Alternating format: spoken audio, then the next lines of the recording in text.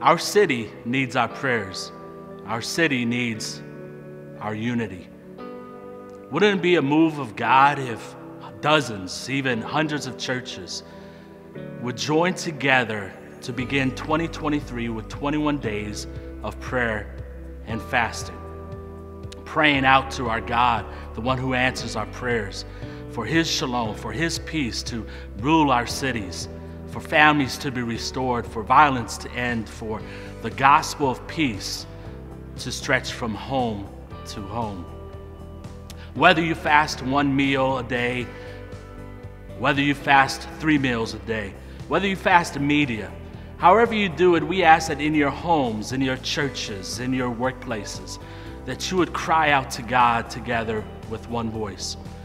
And then, united, that we would meet in one place January 29th, 5 p.m., New Life Southeast. Join Chicagoland United in Prayer as thousands of believers gather together to pray for our city.